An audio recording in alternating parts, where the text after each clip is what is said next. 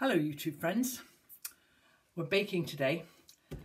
I am making uh, biscotti, which is something I always make at Christmas time. I know we're a long way off Christmas, we're halfway through November, but I will be making these again for Christmas and I'm making these because I need to um, give them as a gift tomorrow. So we're going to make biscotti. Biscotti is a lovely Italian twice baked biscuit. Actually, the word biscuit means twice baked, uh, but um, almost never do we twice bake things anymore. However, we do biscotti. You might be familiar with them in coffee shops. You dip them in your coffee and uh, they're delicious. So biscotti then, uh, one of the first things we need to do is sort of uh, roast the almonds a little bit. There's all sorts of different nuts you can put in biscotti, but almonds is traditionally the one that I like to use. Now these almonds are from my friend who uh, has a little house in Spain and they go a lot and these are from her garden. So um, it's going to be really nice using these. So we need, I've written the recipe out, it's on here. We need um, 150 grams of almonds. And um, for the recipe for this one, uh, I might have mentioned before, there's a newspaper called The Guardian, which does a column called The Best Of, or Cook the Best, or something like that. And I always start there, if I'm making something like this, to see what all the different recipes are. And uh, so they collect together all the best recipes and give you all the best tips so that you know that this one is going to be an amalgamation of many recipes it's going to be awesome. So I've got 150 grams of almonds there. And one of the things they say in Cook the Best is leave the skins on because it gives a lovely um, texture, um, colour. You know, you get the right, the rims of the almonds. But now what I need to do is put those in a hot oven for about six or seven minutes. So they can go in there. I've only just turned the oven on, so six or seven minutes is more like eight or nine, isn't it? So we'll put that in for eight minutes, ten minutes, and see how we go. Okie dokie then, I'll wipe that out because all the bits of almond are in there. There we go. Now then, the next thing that the Cook the Best suggest is that the sugar and the eggs be whisked together to add a little bit more lightness to the biscotti. They're supposed to be a dense biscuit, but um, you don't want to break your teeth on them. So I'm going to measure out the sugar, and this is caster sugar. How many? 250 grams of caster sugar. I'm making quite a few of these because I have a, uh, a son who's very fond of them. 250 grams of caster sugar, and then we're going to whiz that with the hand whisk and the eggs.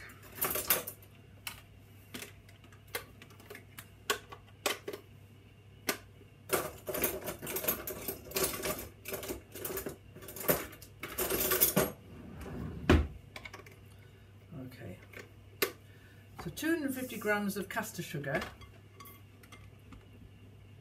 and two eggs, two lovely fresh eggs collected yesterday.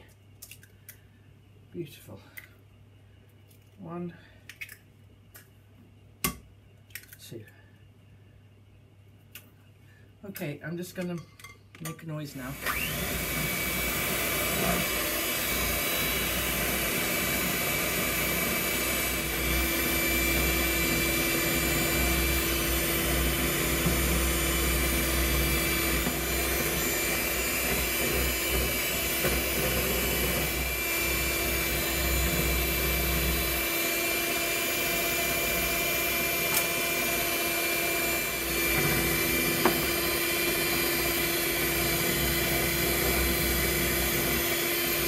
That's beautifully whisked up now. So we'll just leave that there till we need it. And while I was whisking that, I measured in here 250 grams of plain flour, a teaspoon of baking powder and a pinch of salt. And the only other thing we need now is the zest of a lemon. Now, the bad news is I haven't got any lemons. I've got some oranges I'm going to have a go at zesting this um, Satsuma, whatever they're called. Yeah, that's fine, look. So I'm figuring, you know, the zest of a orange will be just as nice as the zest of a lemon. And if I finish these and get the time, I've got some other things I need to do today. I'm going to dip, half dip them in chocolate. So chocolate and orange is a match made in heaven, isn't it?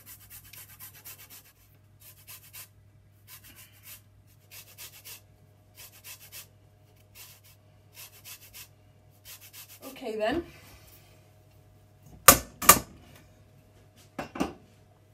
Always worth checking down the recipe to make sure you haven't left anything off.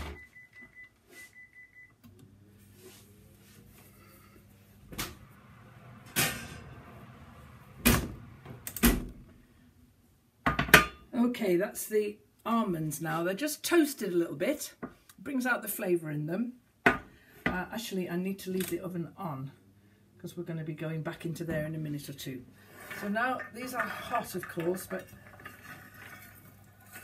and now I'm going to chop these just roughly because you like you like to have nice big chunks of uh, almond in your biscotti. So I'm not going to chop them too finely, just roughly chop them. So that's done, that's great.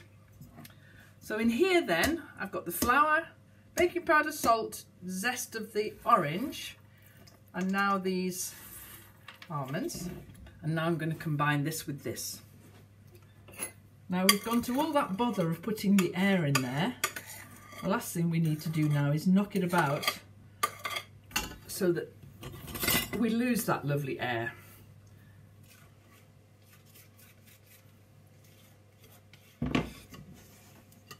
So now I'm just going to fold this together.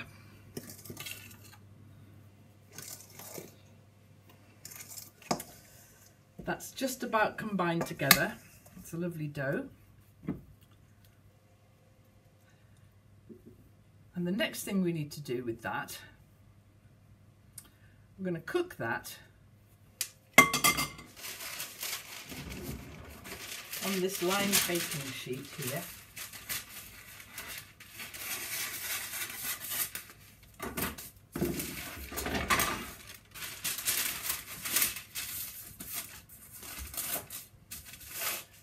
Now the less I handle this, the nicer it'll be. We don't want it to be stiff and hard. They're supposed to be hard biscuits, but they don't want to be really break your teeth hard. And we need to separate this into two, like that. And I'm going to make two long sausages.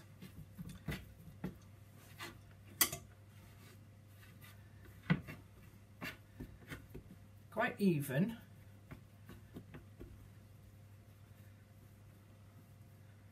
like that. And transfer them to the baking tray.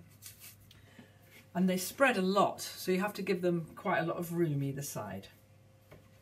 Just make them nice and even.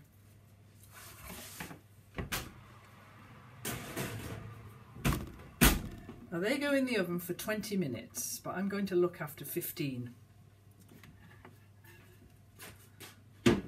so we'll use that time to have a big old clean round I'll get back to you when I've done that, but I can't turn the iPad off, which is the cleanest finger. That one. back to you soon.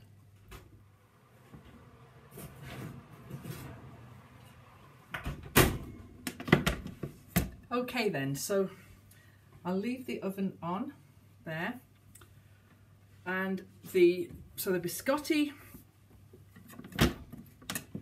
biscotti are out of the oven now uh, in their sort of long logs. I'll leave the oven on, but we'll let those cool down for five, ten minutes because then they'll be easier to slice and they won't, if I slice them now, they'll compress down on themselves. I want them to hold their shape a bit better. So I'll come back to them in about 10 minutes time. So I'm back now and these are cooler now I can handle them okay I hope you can see I'll take them both off here and the insides are still a little bit uncooked, but that's how it should be. Because next I'm going to put them onto the baking tray and cook them again. So I'm going to put them on their sides.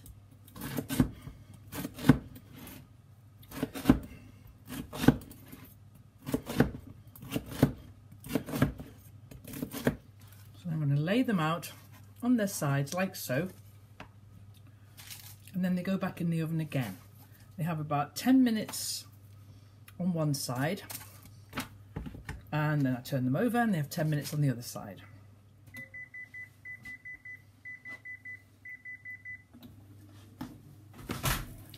Okay, so that's one side. I'm going to turn them all over now and give them 10 minutes on the other side.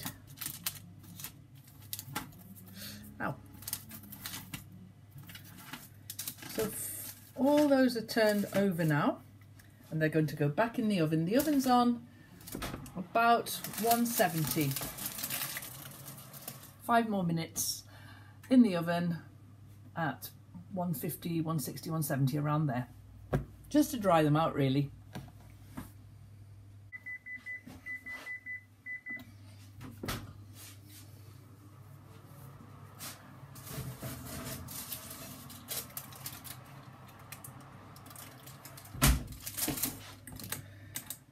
Okay then, here they are out for the last time. I'm going to go on the cooling rack now.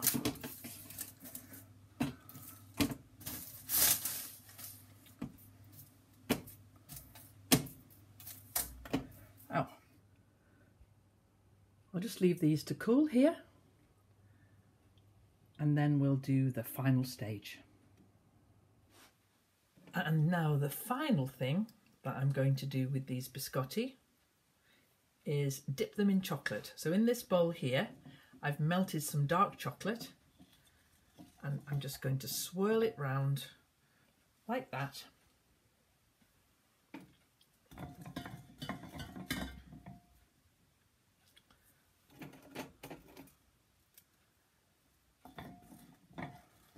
So that you get a little bit of a chocolate treat on the end lay that down on the parchment paper here.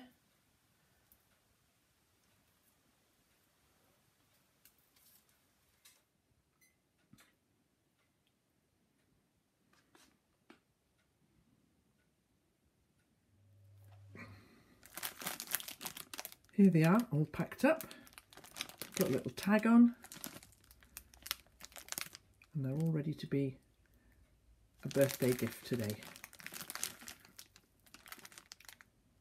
Put the kettle on, make a cup of coffee, ready to go. I'll be making some more of these with different fruits and nuts and maybe white chocolate, uh, dipped in white chocolate uh, nearer Christmas. But uh, have a go. Let me know in the comments if you make it and if you like it. See you next time. Thank you for watching.